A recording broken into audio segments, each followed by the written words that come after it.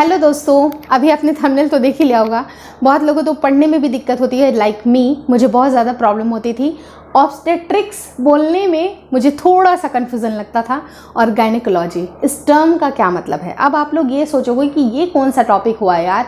जी हाँ ये टॉपिक हुआ बिकॉज़ जब भी आप कुछ चीज़ जानना चाहते हैं तो आपके साथ बहुत सारी चीज़ें पड़ी होती हैं आपको जब भी आप डॉक्टर के पास जाते हो। आपको गायनेकोलॉजिस्ट तो समझ में आती है, लेकिन ये ऑब्स्टेट्रिक्स का क्या मतलब होता है?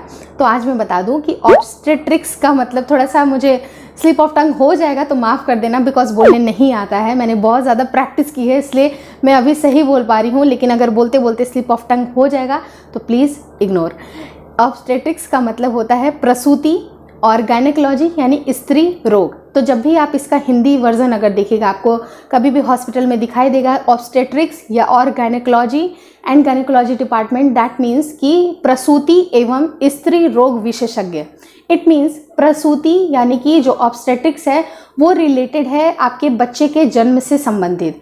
जितने भी बच्चे के जन्म से संबंधित जो चीज़ें हैं, या स्टार्टिंग फ्रॉम मतलब आपकी प्रेगनेंसी जैसे कंसीव होती है, उस समय से लेकर डिलीवरी तक या डिलीवरी के बाद भी कुछ प्रॉब्लम्स अगर होती हैं, वो सारा कुछ आपके ऑप्स्ट्रेट्रिक्स में आएगा।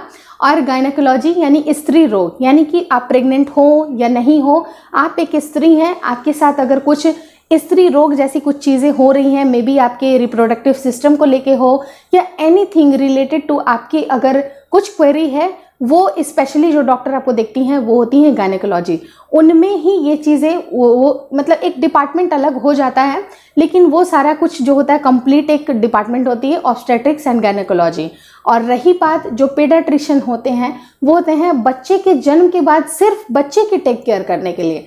यानी कि बच्चा जब जन्म लेता है उसको क्या चीज़ें चाहिए फ़ूड चाहिए कैसा फ़ूड चाहिए उसमें क्या बीमारी है कुछ नहीं है कोई भी ऐसी चीज़ जो भी प्रॉब्लम आपके बच्चे के अंदर आ रही है वो जन्म के बाद से वो आपके पेडाट्रिशन देखते हैं। और ऑब्स्टेट्रिक्स यानी कि बच्चे के जन्म से संबंधित, जन्म में जितने भी प्रोसेस होंगे अल्ट्रासाउंड के प्रोसेस होंगे या एनीथिंग एनीथिंग एनीथिंग जो कि आपकी प्रेगनेंसी में लगने वाले हैं, वो आपको ऑब्स्टेट्रिक्स में आएगा।